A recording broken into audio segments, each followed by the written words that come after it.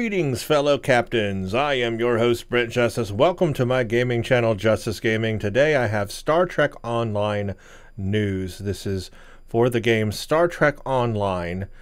This is coming from the main Star Trek Online webpage.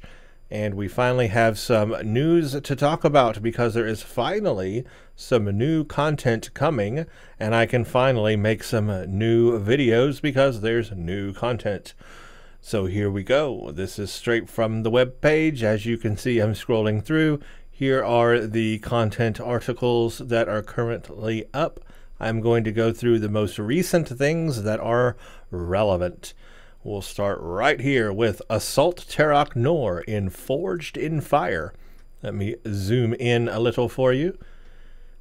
You're all worthless and weak, says Admiral Leeta of the Terran Empire. As part of our story involving the Terran Empire, we've revisited some older Mirror Universe content and brought you a few new ways to feel the wrath of the Empire. In an update and reimagining of the TFO Assault on Terok Nor, we've built a new experience that reimages the attack on the Mirror space station, battle on the updated ground map from DS9 in an assault that takes you through the cargo bay, across the promenade, and into ore processing. You'll face down Terran foes while protecting infiltrators to take over Terok Nor security systems, fighting off the station's toughest defenders, and finally confronting Leeta with all of the powers of the Pah-wraiths at her command. We've smoothed out the mission goals to make it more straightforward, added UI elements to help you keep track of your progress. The final confrontation with Leeta should be more memorable. Hijack the technology of the station to temporarily strip her of her connection to the Pah-wraiths so that she, you can fight her but be ready for her to explode in a blaze of fury when her powers come back. You'll race from level to level as you try to rescue captured Coalition operatives and follow the directions of Resistance fighter Ray Yeet while dodging the flames of the Kosst Amojan. We'll see you there soon. Try not to get burned. So this sounds like they're totally reimagining Assault on Terok Nor, the ground TFO, which I have played quite a bit and I actually enjoy. However, that very end part with uh, Leeta, who is taken over with uh, Pah-wraith, um, is difficult because some people don't quite understand that you have to kite her over to one of those platforms, and then you have to uh, set it off so that you electrocute her to uh, damage her. You cannot do any damage until you do that. Um, but it's all a matter of kiting her onto those. So you kind of have to pull her onto those in a way by like doing damage to her and bringing her towards you. Someone with a high threat generation, for example, uh, could get her to follow them to bring them onto those pads. So maybe this will be a little easier now. Maybe this will be a little more understandable and um, more people can hold on to whatever changes they're going to make here. Maybe make that gameplay a little more fun. So I'm looking forward to the new um, Forged in Fire Assault on Terok Nor I guess is that what it's going to be called? We'll find out.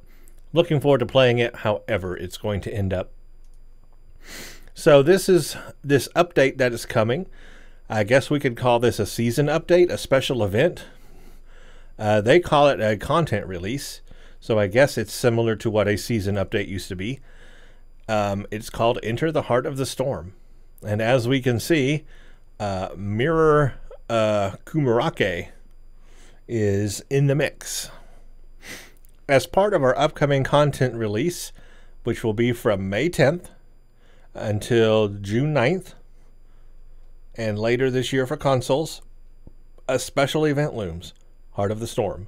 This new event will give an opportunity to drive back the Terrans and claim an epic reward, the Kuumaarke Visionary Ground Set. Participating in the event grants daily progress towards the grand prize the four-piece Kuumaarke Visionary Ground Set. Obtaining the Kuumaarke Visionary Ground Set requires 20 daily progress, and captains can earn daily progress once per account per day by playing either the new episode or Task Force Operation released this season, or any of the other episodes of or Task Force operations in the event. In total, four available missions and four TFOs reward daily progress, and they are as follows. You can play the Firewall one, or the episode Redshift, and there apparently is going to be a new episode or a mission, call them missions, episodes, whatever. Uh, there's going to be a new one called Blue Shift, and a new one called The Calling. So it looks like two new missions will be coming for us to play.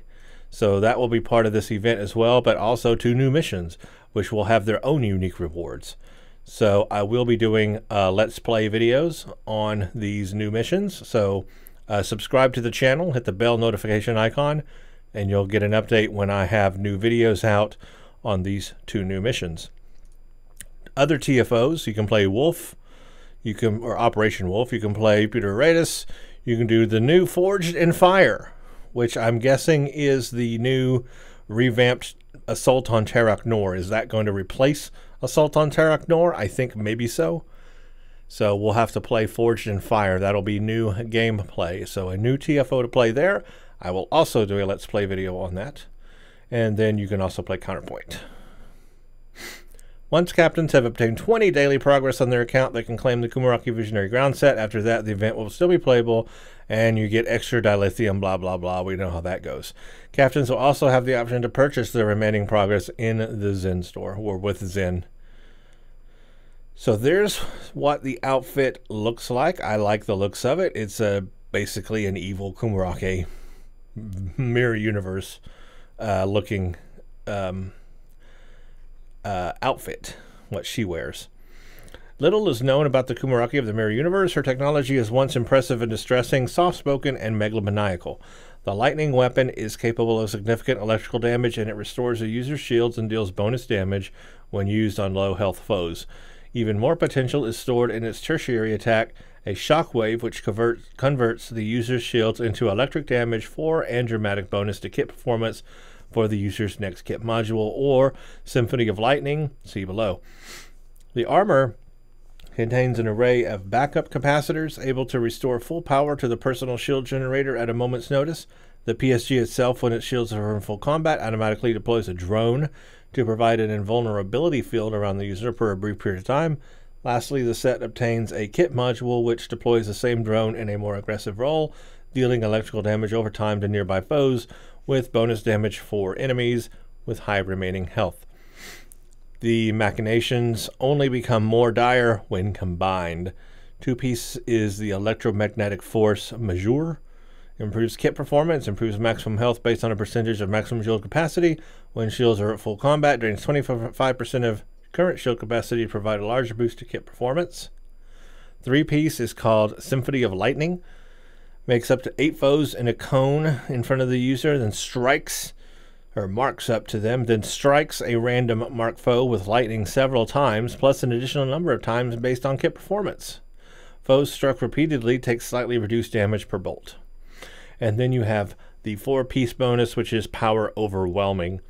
Further improves kit performance, improves electromagnetic force majeure's bonus to health, improves electromagnetic force majeure's bonus to kit performance, Improves shield recovery by using the weapon on low health targets. This item also unlocks unique, unique Mirror Lucari costume pieces for you to use with your character. This is a special event for our next content to drop, and it, and it is not part of the event campaign. We hope you enjoy this special event. Captains, we'll see you in the game. So I'm looking forward to that ground set.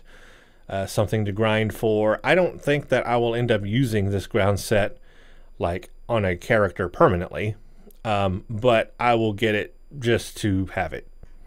You know, maybe I can show it off in a video. Another new piece of news Class of 2409 report for duty. We have undertaken a rework of the Starfleet tutorial experience for cadets undertaking their first cruise. Newly created 2409 Starfleet officers will experience polished and updated training exercises. As our updated tutorial, your captains to be still start as a graduate. I bodgered that. Let's try this again. In our updated tutorial, your captains to be still, your captains to be still start on graduation day at Starfleet Academy, but we've updated the map to improve its visual fidelity and provide a more beautiful landscape. Your companion, Eliza Flores, leads you through the Academy steps so that you always know where to go next. Updated UI elements now include people to talk to, places to go, and objects to interact with. Several characters have also received a visual polish update, so you'll notice that some of your mentors and peers have an improved look. In addition, we've tweaked the story of the tutorial to focus on one overriding threat the Borg. Your humble ship survives a Borg strike and becomes embroiled in the awakening sleeper cell of a Borg on a nearby Federation colony. And when your captain is abducted and assimilated, it's up to you to take the center seat and save the day. Of course, Starfleet is a family, and you'll have a little help, both from Captain Nog and the famous Admiral Janeway, who has plenty of experience in fighting the Borg. All of the cutscenes in the tutorial have been redone to provide a much smoother and more dramatic experience, and we've taken a crack at improving the tutorial's behind the scenes logic as well to catch odd edge cases and make sure that you won't get stuck and you should always know where to go next. Once we've made it through, you'll consult with Admiral Janeway once more on Earth Space Dock before receiving your next assignment in from uh, Fleet Admiral Quinn.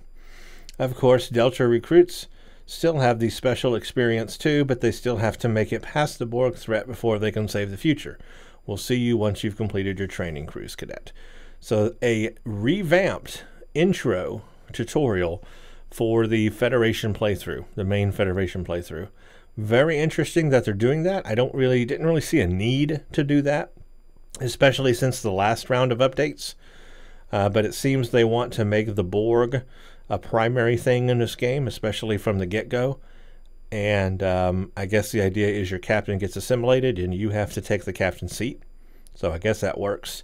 And then uh, you're going to be talking to Janeway now. So I guess that's a big addition because they didn't used to have her in the game. And the actual actress uh, is now, you know, speaking in the game. And so that, I guess, is just another character in the game. And so that's great um, I will be playing this new tutorial. So again, subscribe to the channel and stay tuned if you want to see that. Uh, but I will make a video playthrough of the new tutorial. All right, next bit is the Delta Quadrant Recruits is back for a limited time. Uh, they've had this in the past. Uh, they're bringing it back, so if you never got a chance to make a Delta Recruit, here's another chance. Uh, but in addition, they have made some updates to it to make it more current. Um, the special Delta Recruit event is now coming back from May 10th to June 9th. So that's the same period as that other Kuumaarke event. You can create a new Delta Recruit character. Any newly made 2409 Starfleet character, Klingon Defense Force, or Romulan is eligible to become a recruit for the 28 days this event runs. Delta recruits gain a set of special goals in order to prepare for the Iconian War. Using a Tesseract receiver from the future, you'll chase down information about the Iconians and complete other tasks to make sure your faction's ready to handle the Iconians. Along the way, you'll earn great rewards and gain special account unlocks so that other characters are rewarded too. In addition, we've updated the Delta Recruit tasks to remove out of date missions and introduce new goals with new rewards. Missions that are no longer in the episode journal will no longer have Delta Recruit tasks in them, but we've added new tasks to the new Romulus Dyson Sphere and Delta Quadrant story arcs. You'll also gain rewards from completing those mission groups. Tasks that previously gave you marks have been updated so that you can claim all of the new kinds of reputation marks that have been added since the first launch of Delta Recruitment. There's now a reward for reaching level 60 which gives you even more marks and reputation dilithium as well as salvage so that you can earn more reputation gear and re-engineer your equipment for the end game. We've added new rewards for completing your faction's Admiralty campaign, including a very special Admir- Admiralty card to the USS Voyager. Existing Delta recruits will be able to complete these new goals as well, and if you've already finished them, you can claim the rewards immediately. Remember, to become a Delta Recruit and gain access to the rewards, you must make a new 2409 Starfleet character, a Klingon Defense Force character, or Romulan Republic character during the event. Then you must either play the tutorial until you receive the special Delta Recruit Tesseract transceiver device. Once you receive the device, your character is a Delta Recruit, and you can complete the goals anytime and claim the rewards even after the event ends. So this is just another uh, chance to become or create a Delta Recruit character in the game, uh, and I already have one. I'm not going to create another one. I don't need more characters at this point. Uh, but what I can do is I can go back and see what some of the new things they've added are uh, into the rewards for my character and then see if I can go do them. I don't know if it's going to be worth recording videos for, probably not. Um, but I'll go back and look on my current Delta Recruit character. What new stuff is there? It's probably not that major though. Um, but yeah, so uh, just note that that's there and you can do that.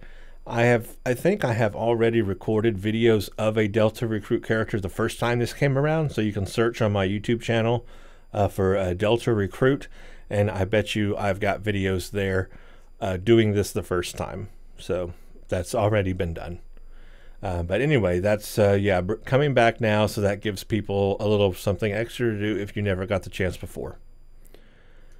So right now, that's what we have going on in Star Trek Online. Um, the Delta Quadrant stuff, uh, tutorial revamp. There is a couple of other things. They're not huge, uh, but the uh, California is in going to be coming to the game. Uh, Miracle Worker utility class starship. I'm guessing this is from that animated animated show, which I have never seen. What is it, Lower Decks? because they keep talking about that. I've never seen it, so I'm not familiar with this. But if that's something that you might be familiar with, it is something that's coming to the game. Um, it is coming with the release of the next story content. The Infinity Lockbox is, I guess, where you'll find it. It's a featured lockbox. And there's other things in it as well. The Tier 6 Starship. Um, yeah, and other things as well. The unstable planetoid detonation console, something from the Cerritos. The ground weapon, mandatory medical treatment rifle, scorpion cube, strange energies infusion, channels mysterious alien powers for a brief time, lift foes.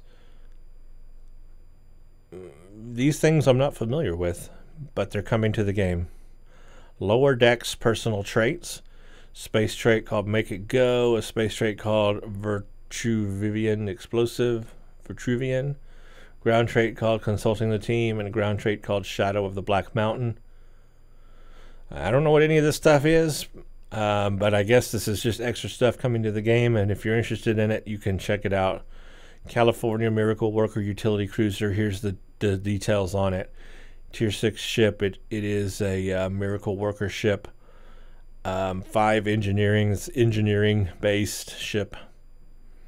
So there you go. I'm not really too interested in it, but if you are, there you go.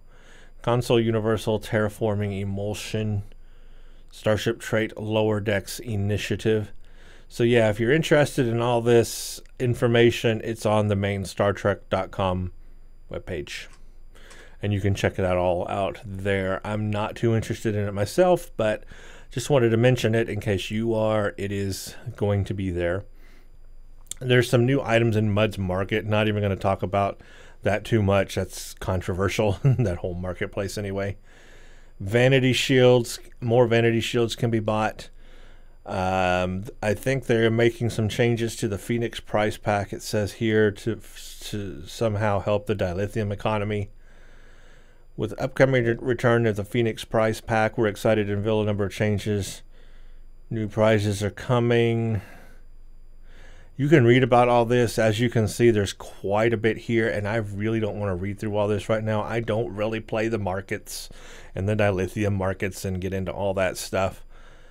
But if you're interested in that and how these Phoenix prize packs work and things, it says here there's increased odds, priced uh, odds, odds, uh, prize tier consolidations and stuff out with the old, a paradigm change. I don't know. I'm not too into this kind of stuff because I don't really play the gambling game in the game. I just like to play the game. So, but it's all on StarTrek.com if you want to read it yourself and you're interested in it. Um, what else do we have? I'm more interested in the content, like missions and TFOs and ships and stuff like that. And that's pretty much it. Everything else is older news. Uh, all this stuff is older and has come and gone already. So that's what's coming. There's some cool stuff to play through. Uh, and I will make as many videos as I can. Uh, new missions, new TFOs. Definitely be playing those. I'll be playing the tutorial. I'll look at the Delta recruits, see what's new there.